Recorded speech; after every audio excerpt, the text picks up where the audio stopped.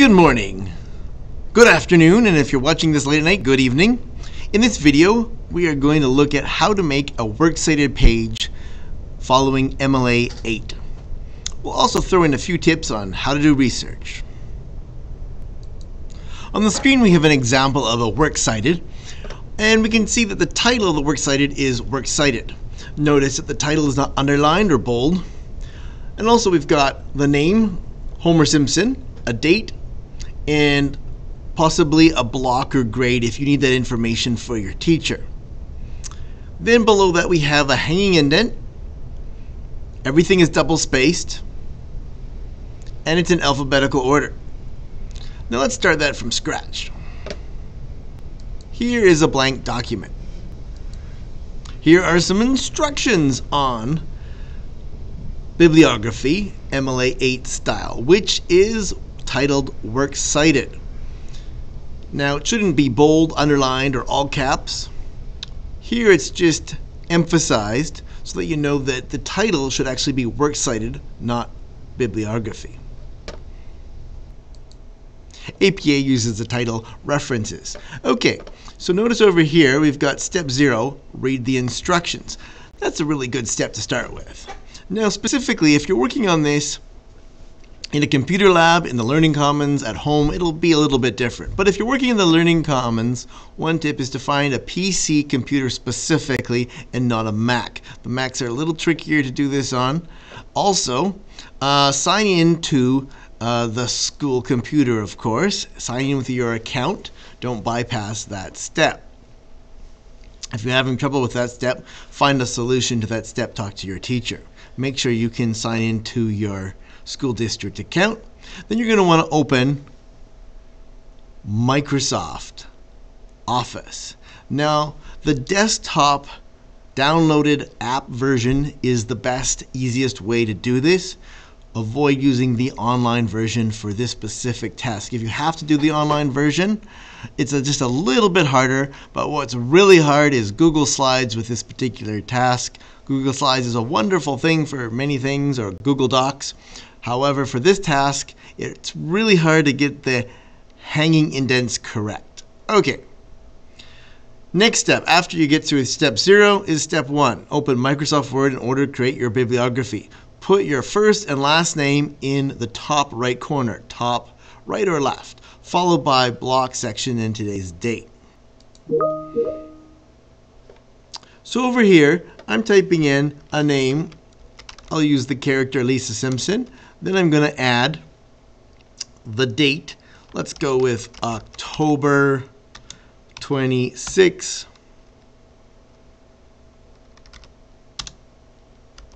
2020. And we'll go with, we're in block, uh, let's go with block E, just to be really confusing. And then we'll add, oh, grade 10, let's say. All right, now we're ready for our title work cited. Okay, so we can see we've got this information on the screen here, and now we're going to do some quick formatting of it. All right, so I'm going to actually going to make one extra spot there for my formatting. I'm going to go to home. Now this little marker here is just this button here to turn on and on the markers. I'm going to select them all so I know I have them all selected. Now I can turn them off so they don't distract you. And then I'm going to, first of all, I'm going to fix the, the font at Times New Roman and 12 point font. That's what I want there. Then I'm going to go check the paragraph spot here. And I'm going to go down here and make that uh, zero. I'm going to go over here to line spacing and we're going to make this double spaced. Okay, so this is double spaced. This is zero. This is zero. And then I'm going to go up here to where it says special, and I'm not going to do anything there yet. That's where I'm going to do my hanging. Now I've got this here, uh, double spaced and at Times New Roman. Then I'm going to go over here, and I'm just going to add a few more markers before I go over here to center my title. Okay. Get back to the step of reading the instructions. Step zero is read the instructions. So let's go take a look at the instructions again. Step zero. Step one. Step two. Try using Oregon School Library Citation Maker. Okay, so let's take a look. Now I've put in Oregon School Library Citation Maker into Google, and now that it's there, we can select it and move towards. This is what Oregon School Library Information System looks like. Now the first step is to select the source type. So I'm going to select a website to start off with our first source being a website. Now over here it says author how many, so I'm going to answer that there's one author, and then I'm going to put this information in here, his first and last name. The first source I'm going to use is from the Canadian Encyclopedia by the author Eli Yarhi. So now I've put in the author's name, last name first, last name here, Yarhi, comma, first name Eli. Now I'm going to go down to title. I am citing, what am I citing? An article or page within a website is what I'm going to choose here. And now the title source of the article. Now I'm going to go back and take a look at my article here, which is MS ST period Louis. So I'm going to go back here and then I'm going to type that in here. MS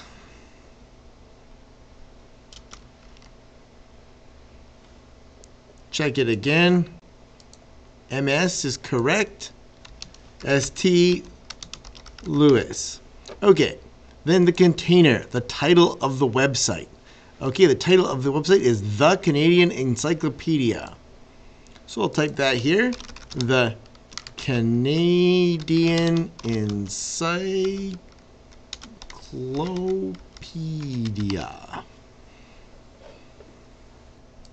Now the publisher can often be found at the bottom of a website. Here we can see the Canadian Encyclopedia is actually the publisher of the Canadian Encyclopedia.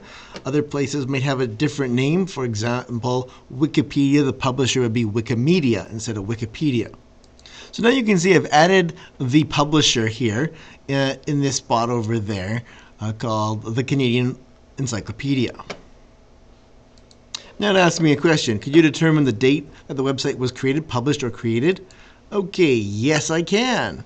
All right, now we have to go back and find the date of that article. September 14, 2015. September 14, 2015. The date was 14. The month was uh, September. Where are you, September? And the date was, what was the date? Now we can always go back and check if we forget the date 15, 2015. 14 and 15. Day is 14, year is 2015. So that's a fast way to do that. Now it says create citation below.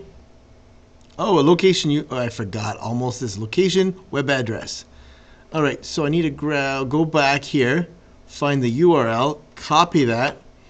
Control C for copy, come back here and I'm going to do Control V to paste that in create citation below. And let's see what we've got down here. Now we've got two different versions, the one where I forgot the URL and the one with the URL. Okay, so. Okay, now I'm going to go hit this copy citation button and then I'm going to minimize this for a minute, go back to my works cited. I'm going to click on this button right here just to see my markers and then I'm going to come over here and I'm going to put in my first source there. Now, I don't want this one without the right information. Now, something is wrong here that I know about, but we're going to come back and fix the formatting after I get a few more sources. Now I've added a source from our textbook or an older textbook, Cranny, Michael William, Crossroads, A Meeting of Nations, Prentice Hall. So what we've got here is we've got the author's name here, last name followed by the first name, and perhaps a middle name if needed. Crossroads, A Meeting of the Nations is the title in italics. And then we've got the publisher. And it's zoomed in right now, so I'm going to have to zoom out here under View. And I'm going to go to zoom 100% so you can see what it looks like zoomed out. Now this is not yet done. 1998 is the date. Now let's say I really want to impress my teacher by finding an academic source in an academic journal, and I wanted to have a higher level of reading, which is going to be found in an academic journal, and challenge myself to read hard, I might go to something like Surrey Schools 1. Now, let's say if I really want a challenge, uh, I'm going to try and pick something hard. Now, if I want to pick something hard, I might go even a grade level above my grade. Or maybe I don't want something so hard. But we're going to go to digital resources here. And then at digital resources, we're going to go to, okay, say you're in grade 10, but you want to go up a level. Let's go to grade 11, grade 12, and see what's harder here. Now, you don't have to go harder, but these are some things that are going to be more academic. You've got EBSCOhost here, which, and then you've got here Gale. Now, uh, Gale in context. Let's grab Gale in context as an example, and we're going to visit the website there. And it's going to take a moment to load. Now, we'll put in our search here. And let's say I want to find something. Okay, for this purpose, let's say I'm putting in a bunch of words together like Canadian, democracy, revolution, sovereignty, First Nations, and I'm going to click search to see what comes up after I've started my search, I want to look through the filters here and I want to get to academic journals because I, I want to find a really hard reading academic journal. Now it shows that I found 2,463 academic journals. And so I'm going to browse through here and find one that uh, might be fitting. And I might be consider which journal it is while I'm looking at and what specifically it is. Is it peer reviewed, etc. So say I'm really actually looking at the leaders of Canada and how um, they were related to change and World War II or World War One, and I found this article, "The Canadian Passive Revolution from 1840 to 1950." And I'm like, okay, World War II might be in that timeline. I might find something near the end of this article that relates to what I'm interested in. I might use this. Now, the key thing I want to show you here is content level five. Whoa. So this is going to be a very, very hard intellectual academic read. Now you may try reading this article and go, whoa, I think I'll go a notch easier. That's okay. This isn't for everybody, but if you want to have an academic uh, article as part of your research, this is the method to find an academic article. All right, so where do you start? Surrey Schools 1, Digital Resources. So again, I'm using Surrey Schools Library. Um, here we've got one author, Ian McKay, but we put the last name first, McKay Ian.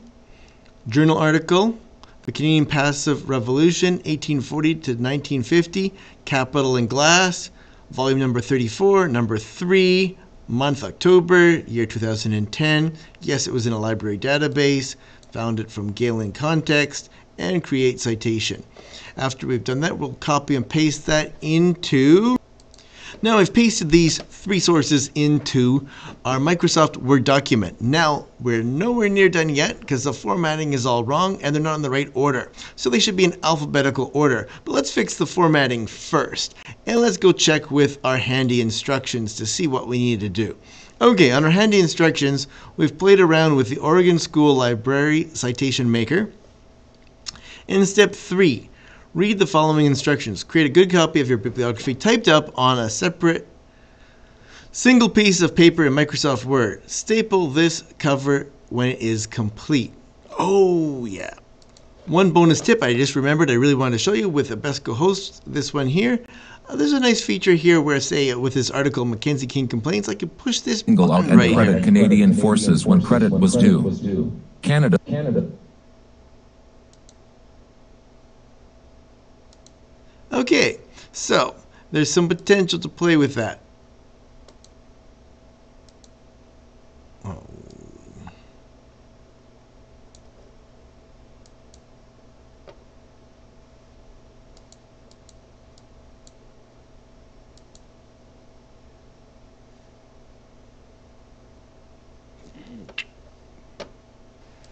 Also, if you're using Teams with your teacher and you have your assignment and instructions in Teams, you can click on Immersive Reader to get the instructions read to you. Now, let's say if I wanted to scroll down here to where we left off, I think we were on step three. Here we go. Create a good copy of your bibliography, typed up on a single piece of paper in Microsoft Word. Staple to this cover when it is complete. 1. On a separate piece of paper typed up in a Word document and printed. 2. Set margins to normal or about 1 inch or 2.5 centimeters. 3. Use the title, works cited, center the title with no bold, no underline or size changes. 4. If you paste into Microsoft Word from another website, 1. Right-click past to select the best choice regarding formatting or 2. Highlight and control spacebar to remove the wrong formatting. 5. Format font. Use the font times NEW Roman 12 point font after instruction 4. 6. Format the body with a hanging indent of 0.5 inches or 1.5 centimeters. 7. Double space the body text exactly and format paragraph before and after equals 0. 8. Each entry should be entered in alphabetical order. 9. Include all the information in the correct MLA8 order as seen in the table and examples, author, date, title, URL, etc., and in the UBC PDF. 10. 10. If needed right-click on hyperlinks and remove hyperlink formatting. Use these tables to help make bibliography notes. Websites. Author last name, first name, or if no author then leave blank. Title of article. In quotes. If available. Title of website slash. Web page. In italics. If available. Publisher. If available. NP for no publisher. Date published. May 15th, 2018. ND for no date. Web. Followed by the date of access is no longer needed in version 8. URL is now needed for MLA version 8. Okay, so you can see the power of eating a snack while you get uh, Immersive Reader to read you the instructions. Now let's exit Immersive Reader and see where we left off with Immersive Reader. It was actually reading us this table here to show you how to do a website and you can see that it mentioned that uh, some things are not needed in MLA 8 that were needed in MLA 7 and now the URL is now needed for MLA 8 which it was not needed in MLA 7. For books for example there's also been a change. Author, last name, first name, title of book in italics. City, province, city, state is no longer needed in MLA 8 with the exception of a very, very, very, very old book. Publisher, year of published, followed by a period. So there you have an example table here of how to put the things in the correct order. That's the purpose of looking at these tables. So we can see these instructions here. We need to check our margins. We need, we've centered the title already and we may have to check some other formatting. We've done the Times New Roman font to 12 point font, and we're going to have to work on the hanging indent and the double space and the alphabetical. So this is the table we were just talking about. The websites are here, books are here, and so some of the changes. Well, web followed by the date of access is no longer needed in version 8, MLA 8. but The URL is now needed for MLA version 8. Also for books, the city and province is no longer needed in MLA 8. That's a change, but you still need the last name, first name, first name of the author, the title of the book, publisher, and the year of publish. Okay, let's take a look at our steps here. Set our margins to normal, we'll need to check that. Use the title works cited, check, we've done that. If you paste into Microsoft, which we have done, we're going to have to fix some errors. We'll have to check that. Use the font, Times New Roman, check, we've done that. 12 point font, check, we've done that. Format the body text with hanging indent. Okay, we'll have to check that. And double space, we'll have to check that. All right, so let's go check our mistakes. Okay, let's start with the double spacing. We're going to select it all because everything has to be double spaced. Now that we've selected it all, we will go to Home, Paragraph, Arrow to open up this, and we'll just do the line spacing right off the bat. Make sure the line space double spacing is correct. Now I think I'm going to go full screen on this now and go zoom in a little bit further to show you a better uh, zoom level. And we'll knock that up to about, let's go 125%. So it's just a little easier to see. And now you can see it's just a little bit easier for you to see, even though it's going to be small on your screen. Next, what I'm going to do is I'm going to select the body text. Lou or one of the custodians. Okay, we just had an announcement on the PA, but now I'm going back to selecting the body text here, and we are going to go to Home. Down arrow. And now that we've just got the body text, we're going to add the hanging indent here. And we want that at 1.5 centimeters if we're in metric. We're going to make sure all these numbers are 0, 0, 0, and 0 over there, and it's still at double spacing. Okay, let's check that to see if it fixes everything. It looks like it's all fixed except this one is not quite in alignment, so we're going to go here and select it all again. And oops, we lost our selection. We will select it all again.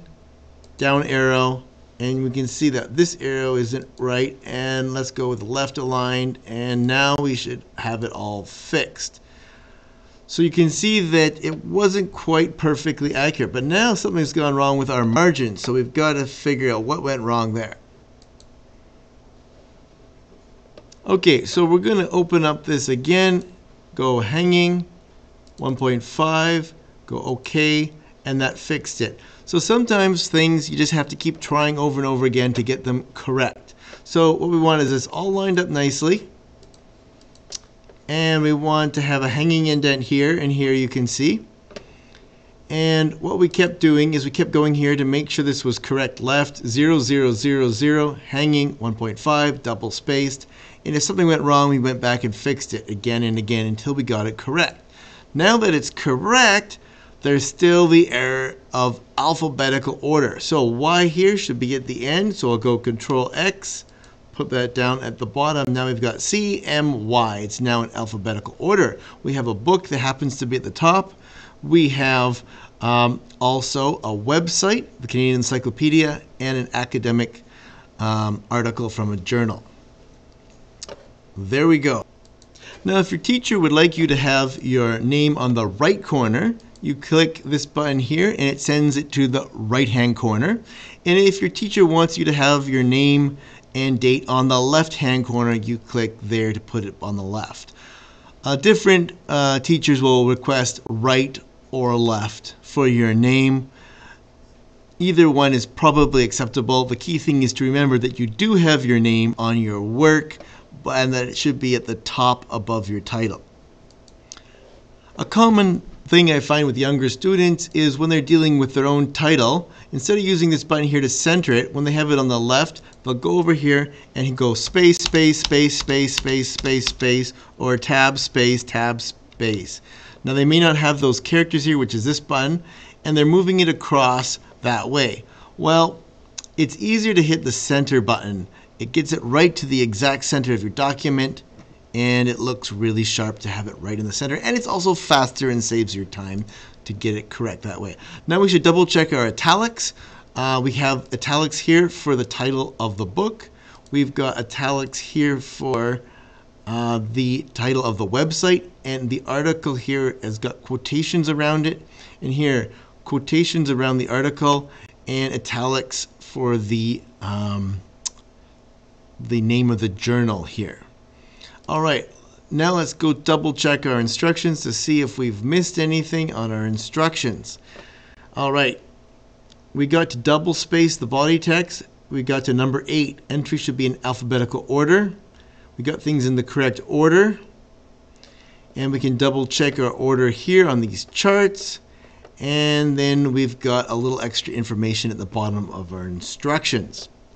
Important note, save all your electronic work in two locations, hard drive, flash drive, Google Drive, and email yourself a copy. Otherwise, you may need to redo your work. It's good to save your work in multiple locations. Important note, ask your teacher about the quantity and variety of sources. A common minimum is two to three websites and one to two physical books. Some teachers may want more than that. And note, a minimum is not necessarily the maximum. So you may want to ask your teacher what is the minimum and what is the maximum, if there is a maximum, and maybe there is no maximum. Don't confuse the minimum with the maximum. Examples for MLA 8, website, followed by a book, and followed by a website. Okay, let's see what's down here. We got another example here. And then down here, we have a possible rubric. Now this is just a guideline to give you an idea of what you need to do to try to get to the level that you're trying to achieve. So for example, if you have many mistakes with at least two websites and one book, according to this rubric, you might be a level 3 or 4. Now, this is just a guideline to help you. This may not apply to your class, to your situation, to your grade level, but this is just a general guideline to try and get to the level you want. Say you're trying to aim for a level 5, maybe you only want two mistakes with at least two websites and one physical book. And again, that's a minimum, not a maximum. So you're trying to get to level 6, only one mistake with at least three websites and two physical books. Now say you're trying to get to the elusive, challenging level 7, perfect MLA 8 style, and follow all of the teacher's instructions with at least three websites and two books. Some teachers may require more quantity and variety at this level, including an academic search journal and or a newspaper source or magazine source. All right, so there you have bibliography MLA 8 style works cited instructions. This is the website that, or sorry, the works cited that we've been creating today. Now we've got one critical step. We have name, October, block, grade, title, but we've not saved it yet. So don't forget to save your work in the along the way. Save as.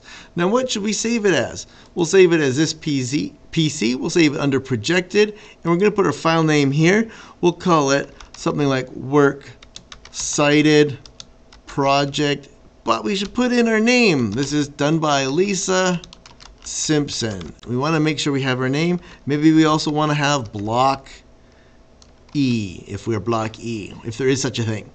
Okay, now we got our project saved. Save that. Work. Save your work. Save your work. Don't forget to save your work. And sometimes people save it as my project. That's a bit vague. It's harder to find what you're looking for if you save your work as my project. Bear that in mind when you're saving your work. And just to review some of our tips for the day, just before we go, we've got to recommend S EBSCOhost. We got to recommend Gale in context. What else did we use? Um, this is an EBSCOhost of an article. And the thing I wanted to make sure I remember to recommend is Surrey Surrey Schools 1.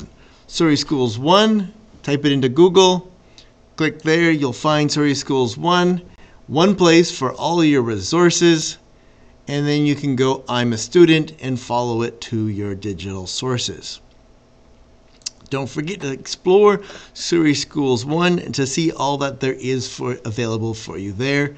And also, if you are needing to go online to do your work online, you can go to Microsoft Office Online if you're, say, working at home and you would find Microsoft Office right here on Microsoft uh, Online. And if you're using one place, Surrey Schools One at home, it will give you a solution to how to log into the various uh, databases.